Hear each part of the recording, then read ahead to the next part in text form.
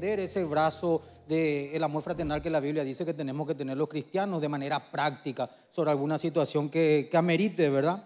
Eh, queremos agradecerles como, como, iglesia, como pastores, eh, hablo también de parte del presbiterio, eh, queremos agradecerles que, que han trabajado, lo entendemos, lo entendemos así, han trabajado como para los ojos del Señor. Entendemos que el intento, y me voy dirigiendo a los líderes de GH, ¿verdad? De que han trabajado tratando de agradarle al Señor. ¿Y saben por qué podemos concluir eso? Porque hemos visto que, no se han generado divisiones, no se han generado tampoco competencia.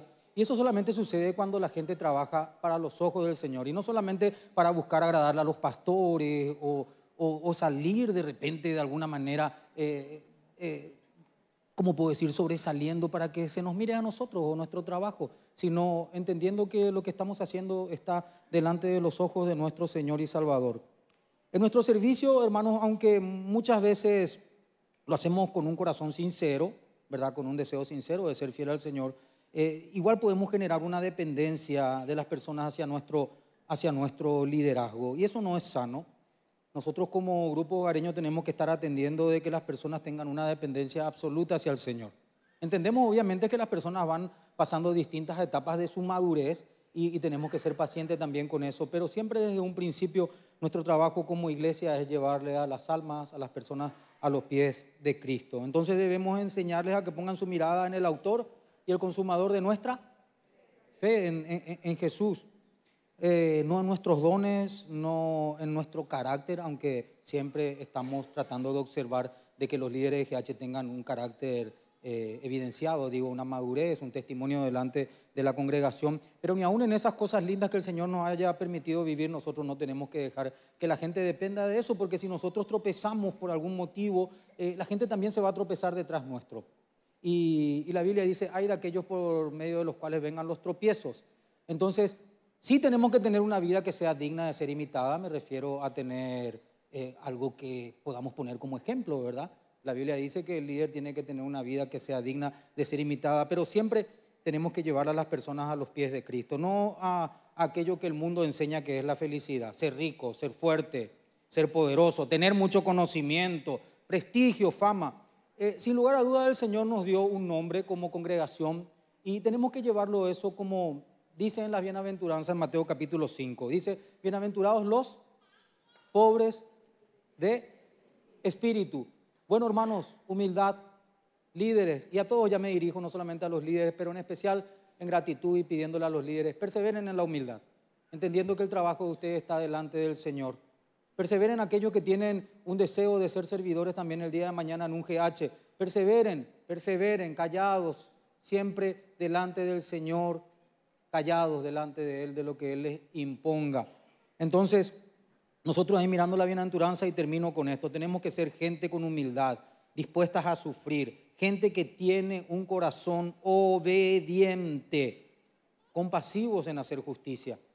Tenemos que ser personas íntegras, tenemos que ser personas que lleven conciliación, justamente lo que acabo de recalcar o de observar en ustedes, personas que, que, que son pacificadoras, que buscan la reconciliación en medio de la, de la congregación. Y esto va a hacer que muchas veces tengamos problemas. Y le leo la bienaventuranza y termino mi parte con esto. Dice la palabra de Dios, bienaventurados, dice los pobres de espíritu. El versículo 5 dice esto, es muy hermoso. Dios dice el Señor una multitud, entonces subió al monte y sentándose vinieron los discípulos y abrió su boca y les comenzó a enseñar. Bienaventurados los pobres de espíritu, porque ellos o de ellos es el reino de los cielos. Bienaventurados los que lloran, los sufridos, porque esta gente será consolada. Bienaventurados los mansos, los obedientes, porque ellos recibirán la tierra por heredad. Bienaventurados los que tienen hambre y sed de justicia, la gente que obra rectamente, porque ellos serán saciados, contentamiento que viene al alma de los que trabajan con justicia. Bienaventurados los misericordiosos y compasivos porque ellos alcanzarán misericordia. Bienaventurados los limpios de corazón, la gente íntegra, porque estos son los que conocen verdaderamente a Dios. Bienaventurados, perseveren en ser pacificadores, porque ellos serán llamados hijos de Dios. Bienaventurados los que padecen persecución por causa del Evangelio, de la justicia porque de ellos es el reino de los cielos. Hermanos, son abanderados, son embajadores de un reino que no es de este mundo, son un remanente muy privilegiado y todo eso lo debemos a la sangre de Cristo derramada en la cruz del Calvario, a quien le damos una gloria con un fuerte aplauso. Gracias, pastor. Mientras viene el pastor Federico, quiero también ver, veo gente de Sajonia. Un aplauso para los grupos de Sajonia. San Lorenzo Luca, ya con Sebastián, un lindo grupo también, y su esposa. También veo gente del centro.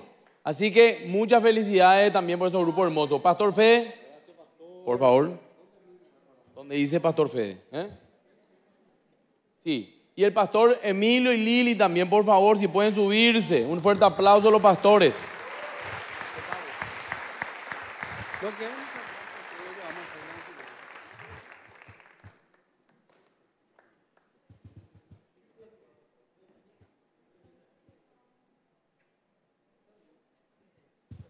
¿Cómo están, hermano querido? Dios le bendiga. Le voy a pedir a Javi si no me puede pasar el púlpito, ¿sí? El gran... Básalo, hermano.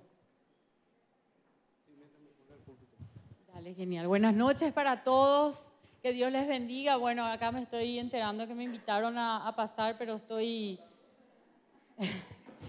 Voy a tomar ocasión de dedicarles esta palabra que me inspiró el pastor Pepi le quiero dedicar esta palabra que ha impactado mi vida estos días. En Apocalipsis capítulo 14, verso 13 dice así, que el apóstol Juan, allá en una experiencia sobrenatural, dice así, oí una voz que desde el cielo me decía, escribe, bienaventurado de aquí en adelante los muertos que mueren en el Señor. Sí, dice el Espíritu, descansarán de sus trabajos porque sus obras con ellos siguen. ¿Eso qué significa? Significa legado. Qué maravilloso. Lo que nosotros estamos haciendo como equipo del reino de Dios es algo que va a quedar. Aunque nosotros partamos con el Señor y llegue un día que tengamos que ir a su presencia a descansar, ¿verdad? De lo mucho que andamos atareados por acá, gracias a Dios, con mucho trabajo y con la salud para trabajar, pero lo que han hecho ustedes por la vida de muchas personas, seguirá trabajando acá en la tierra. No lo duden eso porque este no es solamente cumplir con el Señor, sino que ustedes están dejando, estamos juntos dejando un legado. Amén. Que Dios les bendiga. Ah, acá.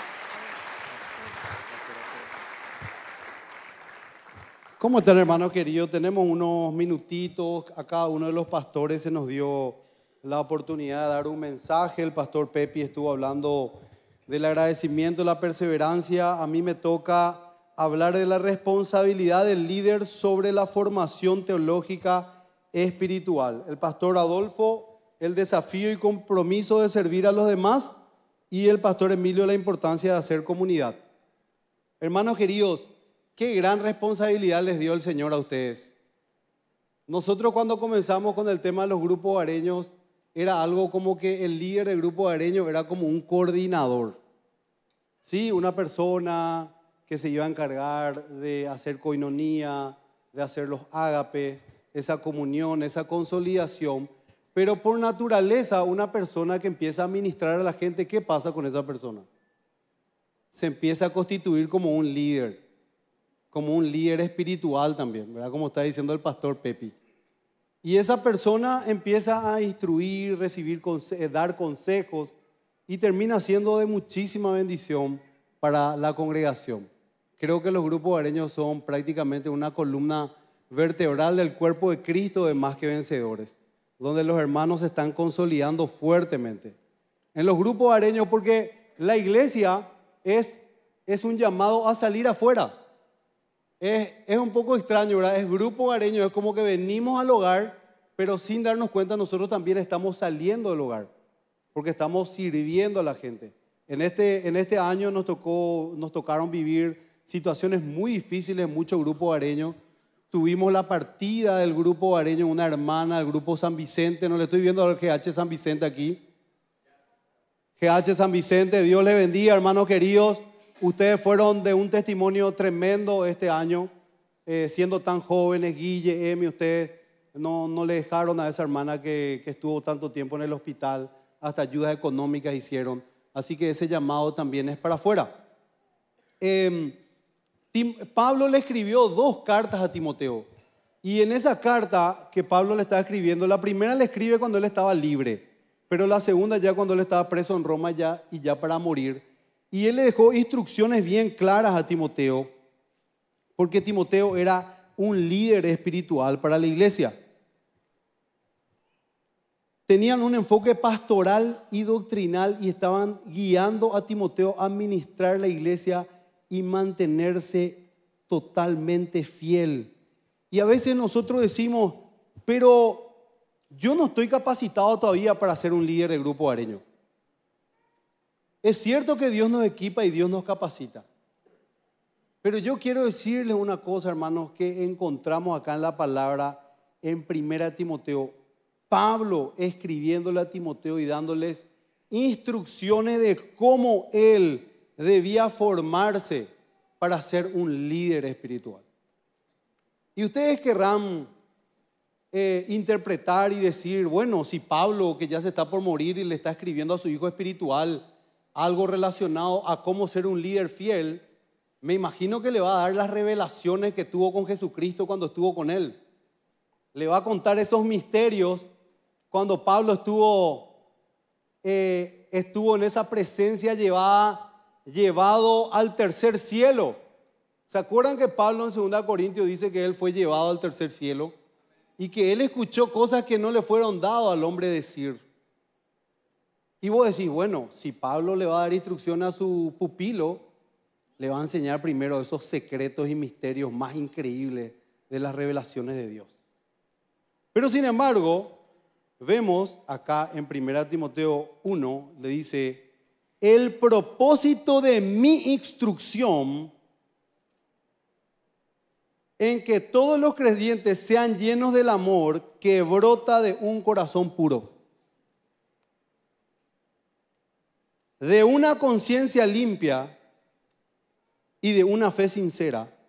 Pero algunos no lo entendieron y se desviaron de estas cosas y pasan el tiempo en debates sin sentidos. Quieren ser reconocidos como maestros de la ley de Moisés, pero no tienen ni idea de lo que están diciendo, aunque hablen con seguridad. Esa instrucción que Pablo le estaba diciendo a Timoteo, no era, mira, mira Timoteo, yo tuve un encuentro, vi un ángel, vi esto, las mayores revelaciones, esos grandes debates que se gene- generaban en el mundo judío, Pablo le está diciendo esas instrucciones es para que la gente ame, para que la gente tenga un corazón puro, para que la gente tenga una conciencia limpia y tenga una fe sincera. A veces nosotros decimos, hermano, yo no puedo estar liderando todavía, no puedo estar, yo tengo el deseo, el ánimo, pero Dios trabajó contigo en hacer que tengas un corazón puro primeramente, una fe sincera, una conciencia limpia. Porque todos hemos dado nuestros primeros pasos como unos niños, hermanos. Y tenés que animarte. Acá tenés un cuerpo pastoral, tenés una iglesia, no estás solo. Para que te animes a liderar y poder servir a tus hermanos. Porque ese es el primero de los propósitos. Y Pablo dice, esa es la primera instrucción, Timoteo. Una fe sincera, una conciencia limpia y amarse entre todos con un corazón puro. Es lo que primero necesita un líder espiritual, hermano.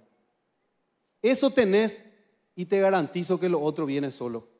Es cierto que ahí en la carta a Timoteo habían problemas doctrinales, habían situaciones complicadas. Y Pablo, antes de morirse, le dijo a Timoteo algo tremendo. Porque no porque Dios pide un corazón puro, una fe sincera, no por eso nosotros no tenemos que estar preparados. Tenemos el desafío también de prepararnos. Porque es un, llamero, un llamado integral. Pero primero decirles, den esos primeros pasos. Acá hay muchos de ustedes que todavía no se están animando a abrir su grupo areño por esa falta de fe, por esa falta de decir, Señor, a mí me falta todavía, nunca vas a estar totalmente preparado para servir al Señor. Nunca. Siempre te va a faltar algo. Ya pregúntenle a sus líderes del grupo areño, que tuvieron situaciones que le han sobrepasado, pero bueno, estamos en el Señor. Ahora, Pablo en la segunda carta, antes de morirse, en segunda de Timoteo 2, 15, le dice algo tremendo. Le dice, procura a Dios presentarte aprobado que usa bien la palabra de verdad. Una palabra griega que significa ortotomeo, que se refiere a trazar correctamente, cortar correctamente, interpretar la Biblia de una manera precisa, recta, asegurándote de hacer tu trabajo de manera exacta y efectiva. Porque a través de ella, la gente que recibe tu instrucción va a poder recibir la doctrina sana, va a poder recibir doctrina sana y también la aplicación práctica. Lo que el contexto histórico, literal y cultural quiere decir nosotros a todos nuestros obreros le estamos capacitando. Hay una materia que me imagino todos los líderes ya han estudiado, que es obrero aprobado, que es cómo interpretar correctamente la palabra de Dios. Pablo le dice a Timoteo, Timoteo, esto hace, corregí, reprendé y instruí en doctrina. Es necesario que nos capacitemos. Como hijo de Dios, es cierto, nunca va a tener toda la capacitación, pero la Biblia dice que sí, debemos capacitarnos. Y en la palabra de Dios encontramos muchos ejemplos. Le vemos a Edras, un varón que cuando el pueblo de Dios estaba perdido doctrinalmente, él se levantó, era un escriba y empezó a enseñar rectamente la palabra de Dios. Dice que él quiso enseñar a Israel sus estatutos y decretos y él inquirió y se preparó en su corazón para enseñar la ley del Señor, para que ellos puedan aprender, obedecer de manera precisa y con fidelidad, decirle las grandes verdades de Dios. En el Salmo vemos, lámpara de mis pies tu palabra y lumbrera mi camino. Porque aquel que maneja la palabra con precisión te lleva al correcto, al camino correcto, que es la luz de Cristo. Dice, reconócelo en todos tus caminos y Él enderezará tus veredas. Como la palabra ortotomeo es cortar recto, preciso, justamente en Proverbio 3.10 dice, Él enderezará tus veredas. En Hechos vemos que los vereanos eran un modelo de fidelidad en el manejo de la escritura. Investigaban y confirmaban la verdad asegurándose de interpretar correctamente. Pedro dice, toda la escritura es inspirada por Dios y no puede ser de inspiración privada, es Espíritu Santo el que va trayendo esa guía a través de los pastores de la iglesia. La palabra de Dios es viva y eficaz, dice Hebreo. Y en Mateo Jesús dice, ustedes hierran ignorando las escrituras y el poder de Dios. Así que hermanos queridos, decirle que Pablo, para Pablo era muy importante prepararle a un líder espiritual que se iba a quedar a cargo del liderazgo de la iglesia en Efeso. Era muy importante porque esas doctrinas extrañas se estaban metiendo. Él tenía que instruir, organizar el liderazgo, tenía que combatir falsas doctrinas, tenía que dar consejos prácticos a la iglesia, tenía que animarle a los otros a que anden en el buen camino, pero él también necesitaba fuerzas, tenía que mantenerse en el enfoque de la piedad y ser, eh, ser em, reflejo de la enseñanza de Cristo también prepararle a la gente para el sufrimiento. Advertir sobre los últimos tiempos, los falsos maestros y dar un testimonio personal. Todo eso, hermanos queridos, Pablo enseñándole a Timoteo para que él maneje con precisión la palabra de Dios, para que él le pueda dar esas cosas a los futuros líderes de la iglesia. Así que, hermanos, con esto yo no te quiero asustar, jamás no te queremos asustar. Al contrario, como iglesia todos estamos aprendiendo, todos estamos siguiendo este camino para que la palabra de Dios siga preservando, pero así también decirles, como decía 1 Timoteo 1, la instrucción es para que nos amemos con un corazón puro, para que tengamos una conciencia limpia y para que tengamos una fe sincera. Que Dios te siga capacitándote y que el año que viene en el, en el culto unido de GH multipliquemos, multipliquemos los grupos hogareños porque son de muchísima bendición. Amén. Dios me lo bendiga. Gracias, Pastor Fede. También quiero agradecer al Pastor Luis de la iglesia Más que en Lambaré, pues están gente de su iglesia acá también. Ellos están un fuerte aplauso para todos allá. Arriba también veo. Ellos son de Más que Vencedores Lambaré, que si quieren acoplar a lo que es hoy el culto del grupo, del culto unido de Más que Vencedores. Eh, el Pastor Emilio ya, para que nos dé un mensaje. Buenas noches, hermanos. Tengo también mis 10 minutos para hablar un poco con ustedes Quiero contarles que este domingo va a estar nuestro pastor Rubens de Brasil. Está con su esposa Vivian. Estuvimos hoy y nos fuimos a orar por fe en ese terreno que estamos queriendo. Y le mostramos también un poco ahí el lugar. Y me hizo recordar que hace 16 años oramos por este mismo lugar, en este mismo lugar acá. Esto era un depósito abandonado. Había jeringas, preservativos, o sea, un lugar de donde se juntaban los adictos. Eh, y el apóstol Darío estaba con nosotros a veces. Y la anécdota que siempre se acuerda es que cuando fuimos a casa, Milito recién había nacido, por lo tanto hace 17 años, pues mi hijo cumplió 17 años ahora. Y al ratito así, literalmente empezamos a ver así que algo saltaba así por el cuerpo de todos y eran pulgas, ¿verdad?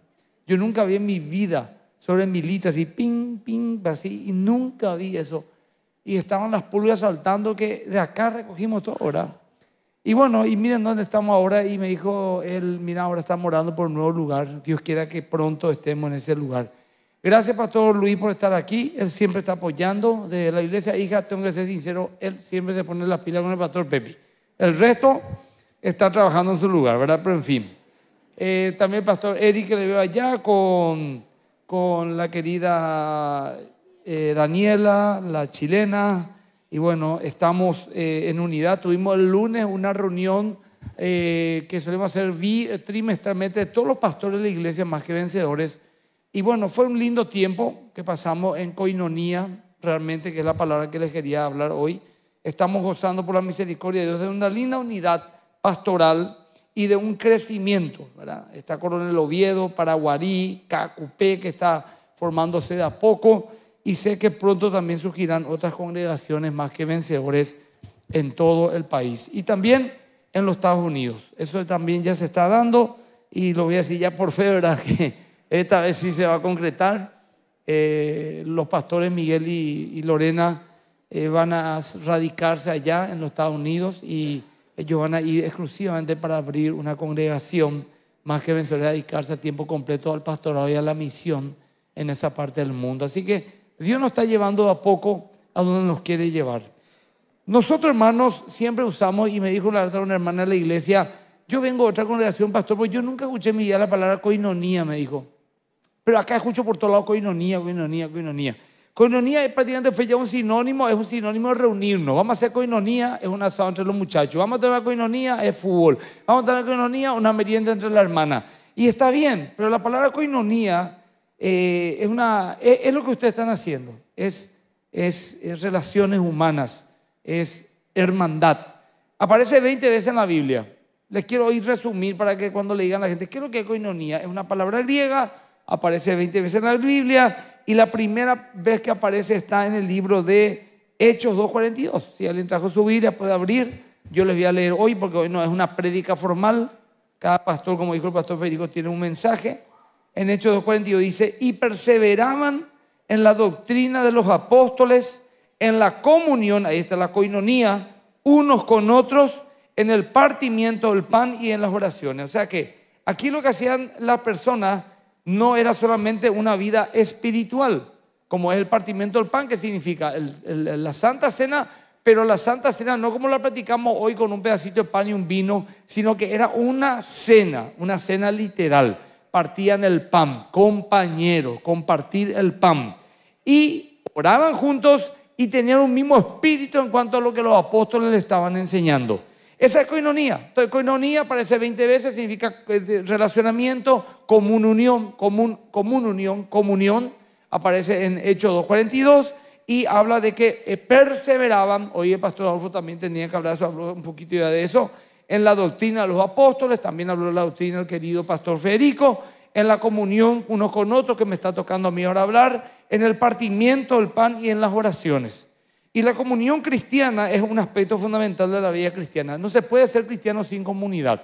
Imposible que uno un cristiano solitario. Un cristiano, ya sea una iglesia grande o una iglesia pequeña, tiene que estar relacionándose constantemente con otros cristianos y con otras personas para ganarle para Cristo. Y los creyentes en Cristo deben de reunirse con tres funciones. Amor, fe y estímulo. Y es así. Es así. El mundo se reúne para divertirse, tal vez para compartir, tal vez para hablar de pecados, por lo menos entre los muchachos se habla de, grandes conquistas femeninas, de promiscuidades, es el mundo, ¿verdad? Pero nosotros no. Cuando los varones nos encontramos, por lo menos hablamos del Señor, nos reímos, eh, hacemos bromas, eh, compartimos, comemos algo, nos involucramos. Como dijo Pastor Federico, algunas personas se han enfermado, otras han partido este año y el grupo areño estuvo ahí para apoyarse en todas las áreas en motivarse, en estimularse. Y esa es la esencia de la coinonía. No se puede hacer iglesia sin coinonía. De hecho, esta iglesia empezó con un grupo areño, un grupo areño de, primos, que luego se fue expandiendo, ya conoce la historia. El grupo areño de Bronx San Antonio empezó con un grupo areño. Eh, Coronel Oviedo empezó con un grupo areño. No, Lambaré creo que empezó, también grupo areño. Ah, sí. Que empezaron a hacer solidaridad en el barrio. O sea, así empieza. La iglesia empezó con grupos areños, ¿verdad? Y la iglesia va a continuar creciendo con el grupo areño, porque es bíblico. Filipenses 2.1 y 2 dice, por tanto, si hay alguna consolación en Cristo, si algún consuelo de amor, si alguna coinonía del Espíritu, comunión del Espíritu, si algún afecto entrañable, si alguna misericordia, completa mi gozo sintiendo lo mismo. Ahí está la esencia de la coinonía. Sintiendo lo mismo, teniendo el mismo amor, unánimes, sintiendo una misma cosa. Está hablando constantemente de tener una misma visión, un mismo trabajo. que queremos ganar el Paraguay? Eh, llevar el Evangelio, eh, ver familia restaurada, apoyarnos en nuestras habilidades. Cuando tenemos luchas, estamos unos a otros para apoyarnos. Esa es la coinonía. Es estar de acuerdo uno con otro, es eh, estar unidos en un propósito, es servir al lado del otro y nuestra coinonía con los demás se basa en nuestra coinonía con Jesús. En, el, nivel que tenemos comunión con Cristo, tenemos también comunión con nuestros hermanos. Es por eso que yo dudo mucho de una persona que dice ser muy espiritual, pero no se congrega. Dice ser muy espiritual, pero no se relaciona con otro cristiano. Dice ser muy espiritual, pero dice, no aguanto a los cristianos, ¿verdad? O dice ser muy espiritual y, dice, no hace falta congregarse. O dice ser muy espiritual y dice, no, hay que tener pastores. Todo eso estuvimos justamente debatiendo hace unos días esta parte en las redes sociales también enseñando todas estas mentiras que el mundo eh, está metiendo en nuestras congregaciones, ¿verdad? Eh, Juan 1, 6 al 7 dice, si decimos que tenemos coinonía con Él, comunión con Él, y andamos en tinieblas, mentimos y no practicamos la verdad. Pero si andamos en luz, como Él está en luz, tenemos coinonía, comunión unos con otros, unos con otros, y la sangre de Cristo nos limpia todo pecado. Hay una relación directa. Hay, algunas personas que dicen, estoy en mi mejor momento espiritual, pero no te congregas. Bueno, pero eh, estoy más que nunca conectado con Dios. Eh, algo no cierra, algo no cierra, no es bíblico. Un importante ejemplo de cómo debería ser la coinonía se encuentra en un estudio de la vida de la, frase unos a otros en la Biblia. Unos a otros. La Biblia es eso. La Biblia es, el cristianismo es relacionamiento, hermandad, eh, discipulado, eh, sostener, soportándose uno a otro. Todo tiene que ver con relaciones humanas. Siempre digo, elegir la iglesia, grande, chica, eso depende de cada uno, pero coinonía al fin. La escritura nos ordena que nos dediquemos los unos a los otros, dice, que nos dediquemos a nosotros, Romanos 12, 10. Nos dice que nos honremos unos a otros, honremos, escuchen que bien, escuchen que bien, por favor. Honrar uno a otro significa no hablar mal uno del otro. ¿Estamos para de acuerdo? Escuchen todo. Yo le digo a los pastores, a la auxiliar pastoral, empezando nosotros como ejemplo. Escuchen que la Biblia dice en Romanos 12, 10, perdón, en Romanos 12, eh, 10, sí, de que tenemos que honrarnos unos a otros. Honrarnos unos a otros. Honrarnos unos a otros. Hablar bien unos de otros. ¿Te imaginas si justo faltó alguien en el grupo areño y se aprovechó para hablar mal de esa persona? Ustedes dirán, no, vos sabés que eh, nadie hizo caso. No, algo, algo se quebró ya ahí. Algo se quebró ya ahí, ¿verdad? Entonces, gente, no es poca cosa lo que estamos hablando hoy. Eh, que vivamos en armonía unos con otros, Romanos 12, 16, 1 Pedro 3, 8. Solamente los nombro porque esto queda en las redes, ¿verdad? Que nos sirvamos unos a otros en amor, en Gálatas 5, 13. Que seamos amables y compasivos los unos con los otros, Efesios 4, 32. Amonestarnos unos a otros significa reprendernos a la manera bíblica. No voy a hablar de eso porque es un poco largo, pero Colosenses 3, 17 que también tenemos que amonestarnos, decirnos las cosas claramente en la cara. Animarnos unos a otros, 1 Tesalonicenses 5:11, Hebreos 3:13, estimularnos unos a otros hacia el amor y las buenas obras, Hebreos 10:24, ofrecer hospitalidad, eso también hay mucha hospitalidad, estoy muy feliz por ello. Eh, tenemos, no voy a nombrarle porque, no sé, no creo que esté acá, porque su, su pequeña, voy a nombrar Miki, ¿verdad? Y su esposa, su, su hija fue operada de la cabeza, una operación bastante compleja. Y las veces que le llamo, cuando me fui a visitarle al IPS, eh, estuve hablando en taller con él, ya están en su casa, toda la hora Miki se puso a ver mi grupo areño, pastor, mi grupo areño, cómo se portaron, cómo vinieron, cómo estuvieron con nosotros, cómo oraron, cómo nos sostenían. Mi grupo areño vino acá al, al, IPS, está con nosotros en la, en la, ¿cómo se dice? En la parte donde, en el albergue. Ah, todo era mi grupo areño. Hace poco incluso una persona falleció, creo que su papá, pero avisó una hora antes, ¿verdad?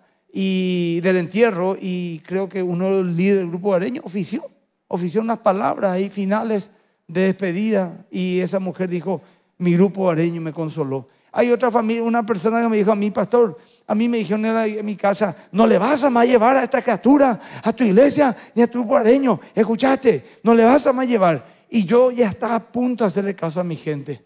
Hasta que una vez llega casi como siempre, váyase acá chiquilina, porquería, venga acá. Y nosotros llegamos a nuestro grupo areño, princesa Dios, hola hermana, bienvenido, esta es una sierva de Dios, vamos a orar por él. dije, no, deja hinchar. acá es lo que tengo que dejar de traerle. Y le dijo a su, a su esposo que era inconverso, ¿verdad? Acá lo que le tengo que traer, está creciendo saludablemente en la iglesia, en el grupo de areño. Acá hay maltrato, grito todo el día, maltrato, ausencia. Allá hay amor, cariño. Le respetan más los hermanos. Es un ejemplo de familia. Y esta persona está logrando un cambio en su hogar luego de esa confrontación. Les chocó que gente extraña les trate con más dignidad a sus hijos que ellos mismos. Les renovó la mente a una familia. No, te puedo contar mil testimonios de lo que ustedes están haciendo. Y bueno, finalmente, la coinonía bíblica implica servicio, amor, unos a otros y unos con otros. Entonces, hoy eh, creo que el pastor Alfonso me dijo y ya, ya, dio, ya habló. Tal vez no lo habló así de una manera sistemática, pero estuvo motivando, porque acá está justamente lo que hoy hicimos, ¿verdad? El pastor Federico, el pastor Federico en primer lugar habló de la gratitud y la perseverancia. El pastor Federico de la responsabilidad del líder y la formación bíblica. El pastor Alfonso desafió el compromiso en un servicio a los demás. Y a mí me tocó dar la importancia de ser comunidad como creyentes a la coinonía. Entonces, le agradecemos muchísimo a ustedes por este apoyo que se dan unos a otros. ¿Y por qué nos agradecen? Porque nos ayudan a llevar la carga. Porque realmente una iglesia tan creciente no es fácil de llevar. Hay muchos frentes que atacar. Y si no fuese por el grupo areño, imposible sostener esto. Y yo sé que esto va a crecer muchísimo más. Creo que tenemos unos 80 líderes del grupo areño. Y esto tiene que crecer más. Hay que reproducirse, gente. No nos quedemos cómodos. Ustedes no, no tienen por qué dejar su GH si abren otro GH. Pueden abrir un GH donde ustedes lideran y seguir con el GH que les formó. Nada impide que eso sea así, pero hay que seguir avanzando. Como dijo el pastor Federico, cuando vos empezás a servir a los demás, Dios te empieza a usar, Dios te empieza a proveer, Dios te afirma. A mí muchas cosas me mantuvieron en la fe, no luego por mi perseverancia con Dios ni nada, sino por, por la gente. De repente no me quería más ir y no, no puedo dejar de irme, ¿verdad? La gente me está esperando. Y, y después me pasaba ese momento y me entusiasmaba y continuaba. Después no, no quería más leer mi Biblia, pero después no, tengo que dar un mensaje de mi grupo, que era cuando eso era la reunión, se decía a los que hoy más que vencedores. Y obligadamente a veces tenía que preparar un mensaje y eso me alimentaba mi vida espiritual. Entonces, bueno, gente, eh, sigan perseverando que Dios nos va a bendecir mucho todavía en el nombre de Jesús.